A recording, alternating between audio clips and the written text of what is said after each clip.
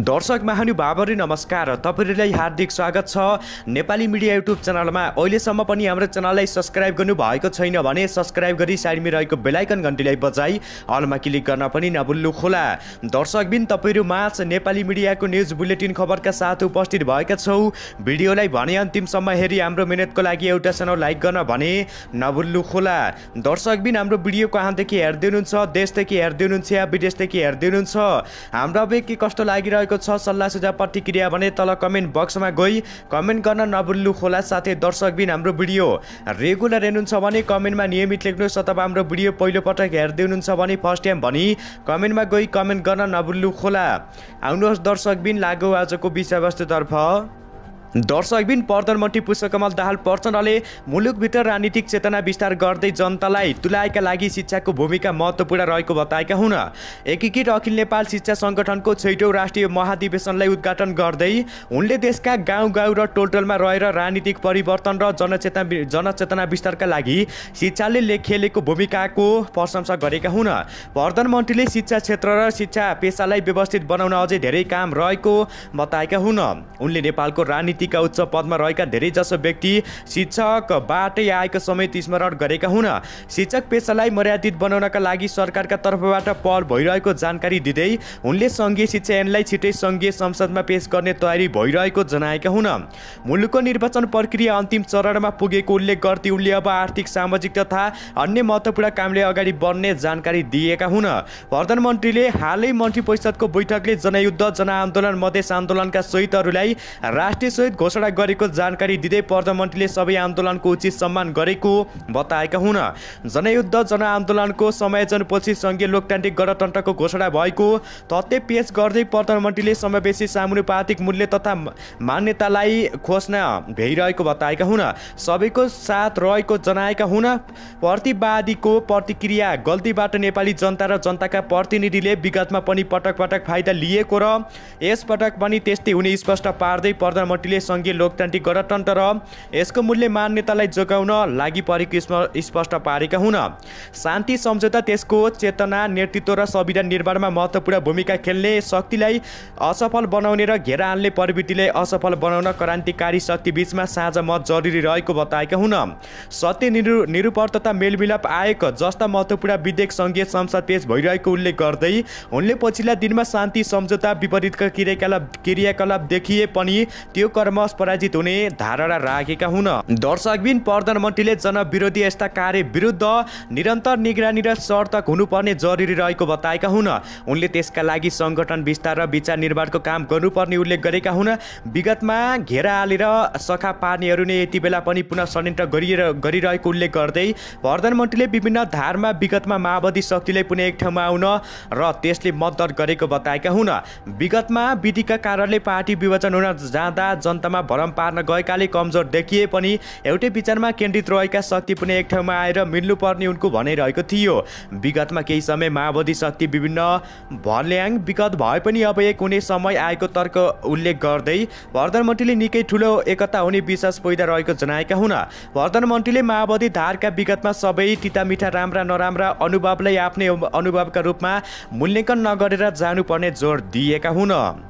उनले भनेका छन् निषेध गरेर रूपमा नभई त्यसको समीक्षा गरौँ निष्पक्ष ढङ्गले समीक्षा गरौँ। जुनसुकै धारणा राखेर पनि ज्यान गुमाउनेलाई शहीदका रूपमा सम्मान गरौँ।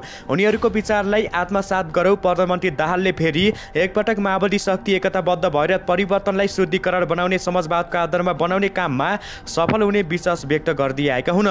समाजवादको आधार तय पार्नका लागि शिक्षक मोर्चाको भूमिका महत्त्वपूर्ण रहेको प्रधानमन्त्रीको भनिरहेको थियो। विचार र जनमत निर्माणका लागि शिक्षाको भूमिका असाध्यै महत्त्वपूर्ण रहेको तथ्य पेश गर्दै प्रधानमन्त्रीले वैज्ञानिक समाजवादका लागि पहल गर्न आग्रह गरेका हुन्। दर्शकबिन यसै गरी आउने सभाहरूको खतर्फ लागौ। दर्शकबिन चैत तिन गति उपराष्ट्रपतिको चुनाव अघिसम्म सत्ता गठबन्धनका दलभित्र मन्त्री छान्ने प्रतिस्पर्धा भइरहेको छ। गठबन्धनका दलभित्र उपराष्ट्रपतिको चुनावपछि प्रधानमन्त्री पुष्पकमल दाहाल प्रचण्डले विश्वासको मत दिने र त्यसपछि मात्र सरकार विस्तार गर्ने सहमति भएको जनाएका हुन्। सो समयसम्म दलले पाउने मन्त्रालय र मन्त्रीका बारेमा पार्टीभित्र छलफल गर्न समय हुने जनाएका हुन्।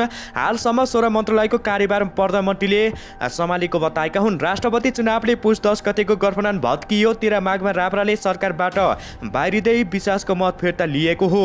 त्यसको तिन दिनपछि एमाले विश्वासको मत फिर्ता लिएको थियो। जसका कारण तेह्र चैतभित्र प्रतिनिधि सभाबाट विश्वासको मत लि लिइसक्नु पर्ने बाध्यता प्रचण्डलाई रहेको छ। पाँच चैतमा प्रतिनिधि सभाको बैठक डाकिएको छ। प्रधानमन्त्रीले आज चैतमा विश्वासको मत लिने छलफल भइरहेको छ तर फाइनल भएको छैन। प्रधानमन्त्रीज्यूले चैतको आठ गते विश्वासको मत लिनुहुन्छ होला। गठबन्धनमा छलफल भइरहेको छ। एकीके समाजवादीका एक पदाधिकारीले जनाएका हुन् माओवादी उपमहासचिव शक्ति बहादुर बस्नेतले सरकार विस्तारको विषय उपराष्ट्रपति निर्वाचनपछि मात्र प्राथमिकतामा हुने जनाएका हुन् अहिले सरकार विस्तारको विषयमा छलफल भएको छैन। यो केही व्यक्तिले चाहेर मात्र हुने छैन। गठबन्धनभित्र छलफल हुनुपर्छ बस्नेतले भनेका हुन् राष्ट्रपति निर्वाचन सकियो उपराष्ट्रपति निर्वाचन चैत तिनमा छ। हामीले अहिले त्यसतर्फ केन्द्रित गर्छौँ। त्यस प्रस्ताव विश्वासको मत उहाँले लिनुहुन्छ अनि सरकार विस्तारमा भन्नुहुन्छ भन्दै जनाएका हुन्। यस्तै जवाब काङ्ग्रेस उपसभापति पुराबहादुर खड्का पनि रहेको जनाएका हुन्। काङ्ग्रेसले नौ मन्त्रालयको दावी गरिरहेको छ। यसबारे छलफल उपराष्ट्रपतिको चुनावपछि मात्र हुने जनाएका हुन्। राष्ट्रपति चुनाव सम्पन्न भयो भने उपराष्ट्रपति बाँकी हुन्छ।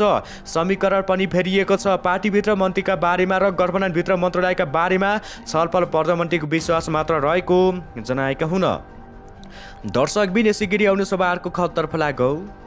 अन्तत दर्शकबिन सात वर्ष राज्यको सर्वोच्च पदमा आसनी निवर्तमान राष्ट्रपति विद्यादेवी भण्डारी आज हिजो शीतल निवासबाट विदा भएकी हुन् फागुन पच्चिस गति राष्ट्रपति निर्वाचित रामचन्द्र पौडेलले पदभार ग्रहण गरेसँगै भण्डारी शीतल निवासबाट बाहिरिएकी हुन्।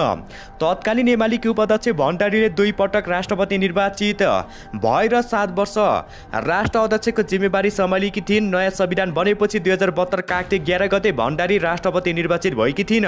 दुई हजार चौहत्तर फागुन उन्तिस गति उनी पुनः राष्ट्रपति बनिन्। त्रिपन्न वर्षको सक्रिय उमेरमै राष्ट्रपति बनेकी उनी साठी वर्षको उमेरमा नागरिक जीवनमा फर्किएकी हुन्। नेताहरूका अनुसार राष्ट्रपतिका रूपमा भण्डारीको सात वर्षको मूल्याङ्कन औसत देखिएको थियो। पहिलो कार्यकालका लागि सन्तुलित देखिएकै देखिएकी भण्डारीले दोस्रो कार्यकाल भने विवादको घेरामा परेकी हुन्। संवैधानिक मर्यादा बिर्सिएर भण्डारीले एमाले र त्यसमा पनि केपी ओलीको अनुकूल निर्णय लिएको चर्को आरोप बोकेर शीतल निवास छाडेकी हुन्। भण्डारीको पहिलो कार्यकालमा सन्तुलित भूमिका निर्वाह गरेकी थिइन्। तिन असोज दुई हजार बहत्तरमा संविधान जारी भएपछि एघार कार्तिकमा नेपालको पहिलो महिला राष्ट्रपति निर्वाचित भण्डारीले पहिलो कार्यकाल करिब दुई वर्ष चार महिना व्यक्त गरेकी हुन्। यति बेला मुलुकको पहिलो महिला राष्ट्रपति भण्डारीका लागि संविधानको पालना र संरक्षण गर्ने बाटो सहज भएको थिएन। संविधान जारी भए पनि कार्यान्वयनका चुनौती बाँकी नै थियो। संविधान कार्यान्वयनमा राष्ट्रपतिका रूपमा भण्डारीबाट महत्त्वपूर्ण योगदान रहेको हो। सामाजिक समावेशिता र समानताका विषयमा पनि पहिलो कार्यकाल भण्डारीको विशेष चासो रहेको थियो।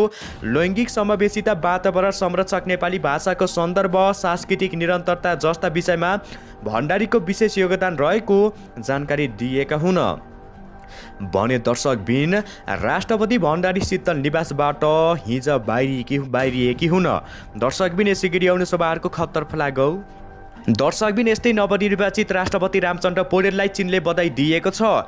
नेपालका लागि चिनिया राजदूत चेन सिंहले छिमेकी मुलुक चिनिया सरकारबाट चिन सरकारबाट राष्ट्रपतिमा निर्वाचित भएकोमा पौडेललाई बधाई तथा सफल कार्यकालको शुभकामना व्यक्त गरेका हुन्। उनले राष्ट्रपति पौडेल नेतृत्वमा नेपाल र चीन बीचको मन्त्रीपुरा सम्बन्ध थप विस्तार हुने विश्वास व्यक्त गरेका हुन्। राष्ट्रपति पौडेलले सोमबार पदभार ग्रहण गरेका हुन्। सोमबार पद तथा गोपनीयताको शपथ ग्रहण गरेसँगै उनले उनले पदभार सम्हालेका हुन्। उनलाई कामु पर्दै न्यायाधीश हरिकृष्ण कार्कीले शपथ खुवाएका थिए। पौडेल गत फागुन पच्चिस गते राष्ट्रपतिमा निर्वाचित भएका हुन् निर्वाचित भएपछि सोमबार उनले पदभार सम्हालेका हुन्। भने दर्शक बिन नेपालका लागि चिनिया राजदूत चेन सिंहले छिमेकी मुलुक चीन सरकारका तर्फबाट राष्ट्रपतिमा निर्वाचित भएकोमा पौडेललाई बधाई तथा सफल कार्यकालको शुभकामना व्यक्त गरेका हुन्। उनले राष्ट्रपति पौडेल नेतृत्वमा नेपाल र चीन बीचको मन्त्रीपूर्ण सम्बन्ध थप विस्तार हुने विश्वास व्यक्त गर्दै आएका हुन्। दर्शकबिन यसै गरी आउनु सभाहरूको खतर्फ लागौ। दर्शकबिन धवलागिरी बहुमुखी क्याम्पसमा शम्भु निर्वाचनको विवाद सुलिएको छ। निर्वाचनका लागि दर्ता भएको एउटा विद्यार्थी समूहले क्याम्पस प्रमुख सहितको समूहलाई सोमबार साँझ कार्यकक्षामा थुनेका हुन तोकिएको मनोनयन तालिका अनुसार प्रक्रिया नथालेको भन्दै क्याम्पस प्रमुख रामप्रसाद उपाध्यक्ष र निर्वाचन अधिकृत भक्तिराज नेउपानी सहितको समूहलाई कार्यकक्षामै विद्यार्थी समूहले थुनेका थिए। निर्वाचन अधिकृत र व्यवस्थापन समितिको अध्यक्ष सहितका व्यक्तिसँग छलफल चलिरहेको समयमा सुजन सापकोटा संयोजक रहेको संयुक्त विद्यार्थी समूहले बाहिरबाट ताला लगाएको क्याम्पस प्रमुख डाक्टर रामप्रसाद उपाध्यक्षले बताएका हुन्। उनले विद्यार्थीको मागका विषयमा छलफल भइरहेको बताउँदै आफूहरूले कार्यकक्षामा थुनेर समस्या समाधान नहुने जनाएका हुन्। क्याम्पस प्रमुखको कार्यकक्षा व्यवस्थापन समितिका अध्यक्ष दिनबहादुर थापा पनि थुनिएका थिए। थुनामा निर्वाचन समितिका पदाधिकारी पनि रहेको बताएका हुन्। शुक्रबार मनोनयन पत्र वितरण र शनिबार मनोनयन दर्ता गर्नुपर्नेमा अझैसम्म निर्वाचन समितिले म्याच थपेर काम नगरेको आरोप विद्यार्थी सङ्गठनको रहेको छ। सोही समय सोही विषयमा छलफल चलिरहेको बेला विद्यार्थीले ताला लगाएका थिए। केही दिन अघि अखिल क्रान्तिकारी सहितका केही विद्यार्थी सङ्गठनले सबै मतदानको एकै प्रकारको परिचय पत्र बनाउनु पर्ने फर्जी विद्यार्थी भर्न भर्ना भएकोमा मतदानबाट हटाउनु पर्ने माग गरेर निर्वाचन कार्यालयमा ताला लगाएका थिए। सोमबार दिउँसो चार बजेसम्म मनोनयन पत्र दर्ता गर्दा समय बढाएकोमा कुनै निर्णय नदिएपछि उनीहरूले ताला लगाएका थिए। दर्शक विनेश गिरी अनुसभाहरूको खतर्फ लागौ। दर्शकबिन दैलेख जिल्लाको रानी वन केन्द्रबिन्दु भएर भूकम्प गएको छ। राष्ट्रिय भूकम्प मापन तथा अनुसन्धान केन्द्र लैनचरका अनुसार आज साँझ छ बजेर त्रिपन्न मिनट जाँदा दैलेख जिल्लाको रानी वन केन्द्रबिन्दु भएर चार पनि एक रेक्टर स्केलको भूकम्प गएको हो। यसअघि यही फागुन एक्काइस गते अछ्याम र काभ्रे पलाञ्चोक केन्द्रबिन्दु भएर दुईवटा भूकम्प गएको थियो। दर्शकबिन यसै गिरी आउनु सभाहरूको खतर्फ लागौ दर्शकबिन नेकपा एमालेको संसदीय दलको उपनेतामा सुभाष चन्द्र नेवाङलाई जिम्मेवारी दिएको छ। पार्टी अध्यक्ष एवं संसदीय दलका नेता केपी शर्मा ओलीले उनले आज संसदीय दलको उपनेतामा मनोनयन दर्ता गराएका हुन्। इलाम दुईबाट विजय नेवाङ एमालेको उपाध्यक्ष समेत रहेका हुन्। दुई हजार एकाउन्न सालमा न्याय कानुन तथा संसदीय व्यवस्था मन्त्री भएका नेवाङ दुई हजार त्रिसठीमा पुनस्थापित प्रतिनिधि सभाको सभामुख तथा पहिलो र दोस्रो संविधान सभाको अध्यक्ष बनेका थिए। अध्यक्ष ओलीले प्रतिनिधि सभाको प्रमुख सचेतकमा पदम गिरी र सचेतकमा महेश बतुलाईलाई नियुक्त गरेका थिए। नेकपा एमालेको संसदीय दलको उपनेतामा सुभाष चन्द्र नेवाङलाई जिम्मेवारी दिएको थियो। पार्टी अध्यक्ष एवं संसदीय दलका नेता केपी शर्मा ओलीले उनले आज संसदीय दलको उपनेतामा मनोनयन दर्ता गराएका हुन्। इलाम दुईबाट विजय नेवाङ एमालेका उपाध्यक्ष समेत रहेका हुन्। दुई हजार एकाउन्न सालमा न्याय कानुन तथा संसदीय व्यवस्था मन्त्री भएका नेवाङ दुई हजार त्रिसठीमा पुनः स्थापित प्रतिनिधि सभाको सभामुख तथा पहिलो र दोस्रो संविधान सभाको उपाध्यक्ष अध्यक्ष बनेका थिए। अध्यक्ष ओलीले प्रतिनिधि सभाको प्रमुख सचेतक सचेतकमा पदम गिरी र सचेतकमा महेश बतौला नियुक्त भएका हुन्। दर्शक विनेश गिरी आउनु सभाहरूको खतर्फ लागौ।